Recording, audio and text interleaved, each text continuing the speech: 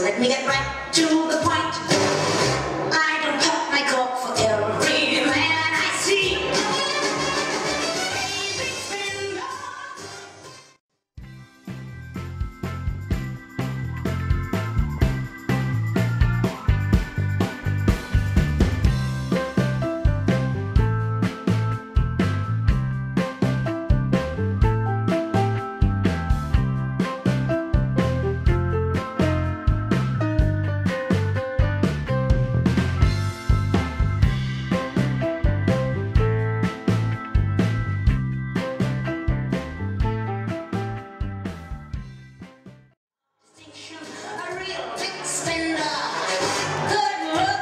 the sun.